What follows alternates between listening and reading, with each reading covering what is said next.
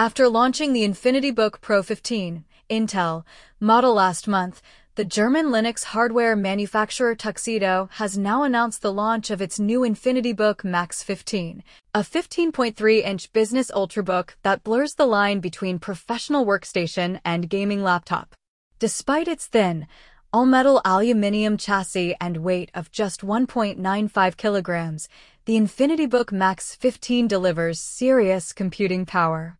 It is powered by the AMD Ryzen AI 300 series of processors, including the Ryzen AI 9 HX370, 12 cores, the Ryzen AI 9 365, 10 cores, and the entry-level Ryzen AI 7 350, 8 cores.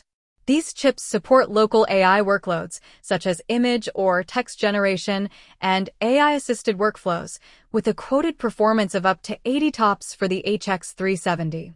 At the same time, this Linux laptop pairs those CPUs with mid-range but capable NVIDIA GeForce RTX 5060 or RTX 5070 graphics cards, enabling work and play usage scenarios, such as software development, media design tasks, GPU-accelerated workloads, and even gaming at high-quality settings.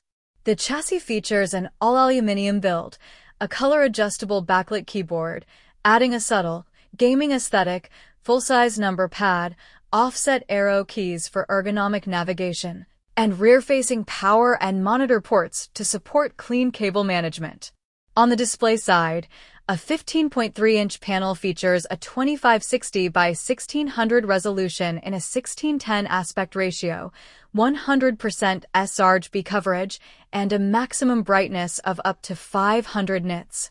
A fast 300 Hz refresh rate ensures fluid motion. The display lid tilts back to 180 degrees and includes a privacy shutter over the 1080p webcam.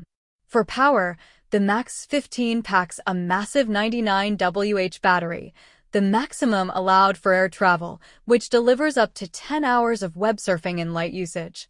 Charging is versatile, USB-C up to 140W, and a compact 240W GAN power supply for unleashing full performance.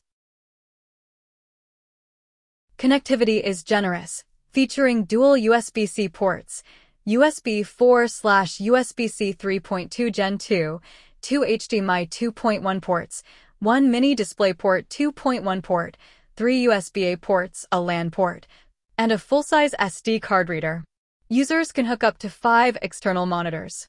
Internally, the system supports two upgradable DDR5-5600 RAM slots, capable of accommodating up to 128 gigabytes, and features up to 8 terabytes of PCIe 4.0 SSD storage.